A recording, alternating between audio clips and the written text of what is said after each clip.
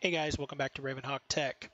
This video is going to be covering the installation of vCenter Server 6.7 appliance. So Now I'm going to be installing this on my Dell R610 as the actual machine, the host machine is going to run it, and then I'm going to be attaching it to the two VMs I talked about in my networking video.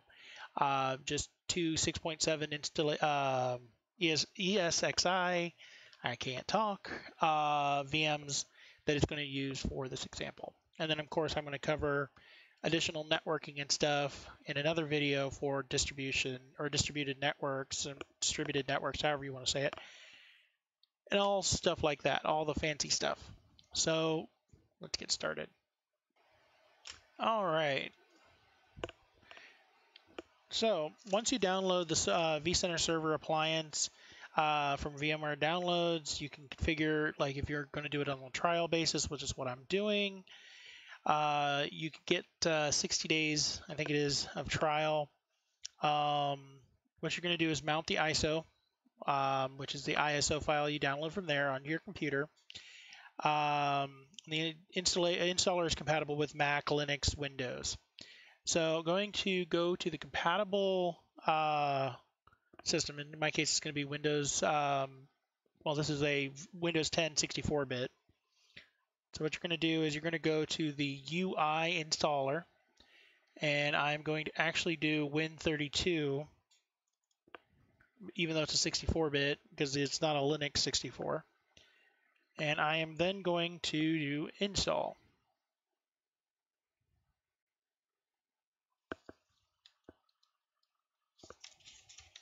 Now you get an option here of doing install, upgrade, migrate, and restore. So if you need to migrate um, from an existing server, you can actually migrate your data. Uh, you can restore a previous one. You can upgrade your current one, but I don't actually have one installed here. So I'm going to go install. And of course, you got stage one, stage two. So uh, you go ahead and always have to accept. If you don't accept, you don't do it. Now you have your choice of either splitting it up and having an external platform service controller. So if you had like a uh, Windows box, for example, set up as your main vCenter, and you want to actually run the vCenter server separately or split it to where you have a um, split node or things like that. All different options, but for your basic config, you're just going to go a vCenter server with embedded platform service controller. Now my IP address for my machine is this one, which is 192.168.1.241. And I am actually going to put in my root and my password.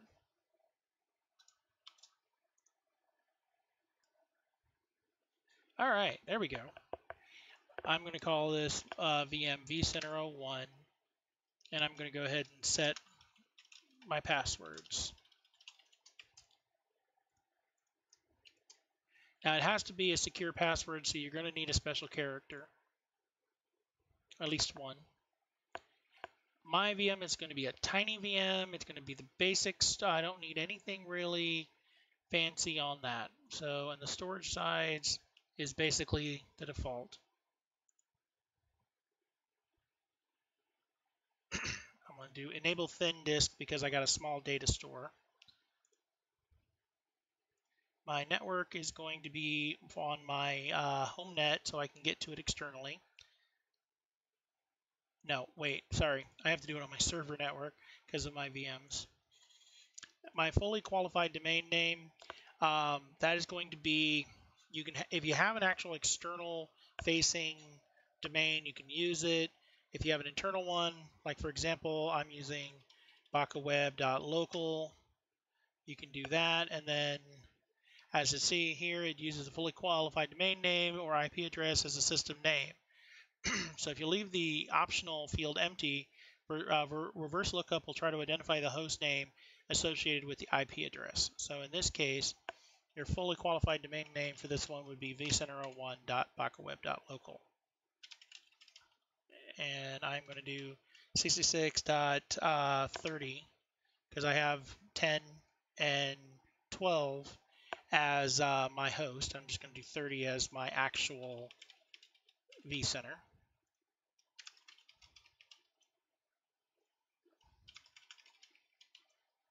And I'm going to go ahead and put my default gateway and my DNS server right now is the default gateway. And you go ahead and hit next. And then finish.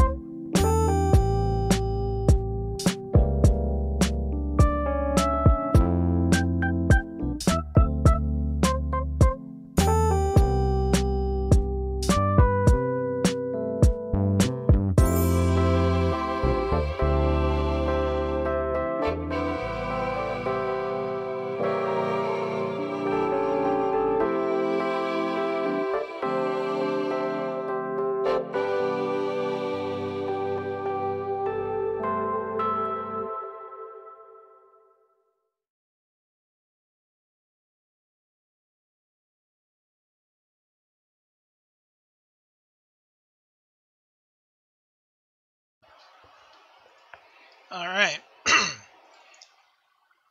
okay, so we got to this point and says the installer was unable to get past this point and we need to actually go need to go to the website. Now my uh, I do not have my actual DNS configured to where I can access it from my end, so I'll have to do by the IP address. So I will go ahead and do 6630 5480. I'm going to go ahead and again hit advance and proceed.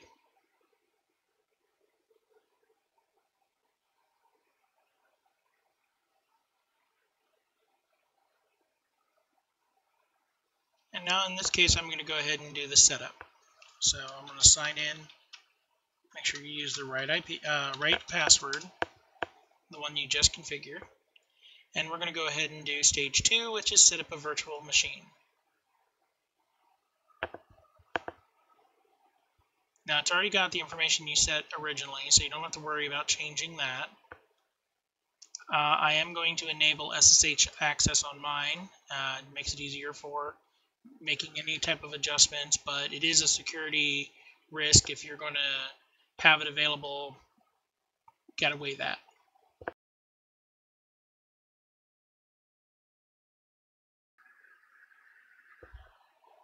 All right, we're going to go ahead and create a new single sign-on domain. I'm going to do ravenhawktech.local, and I'm going to establish the roots password. Now, when you go to sign on, it's going to be administrator at your single sign-on domain Again, the customer improvement, I am not going to join it, but that pretty much shows up with any software that you use. Review your change or your configuration, make sure that everything is right, because if, you do error out, you will have to delete the VM and do it all over again. So make sure that everything is right.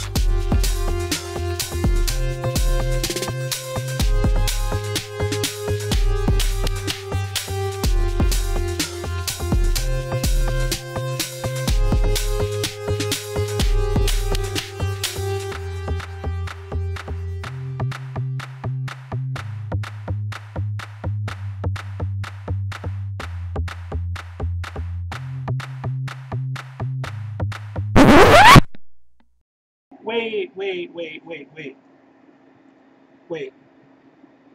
So I've been installing 6.5, 6.0, 5.5, things like that, and I have to make notice of something.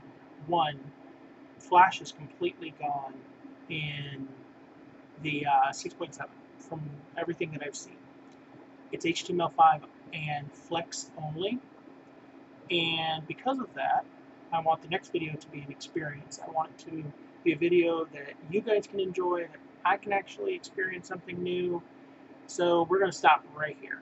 Now, hope you guys enjoyed this video, uh, learned something from it, and, you know, stay tuned for the next video.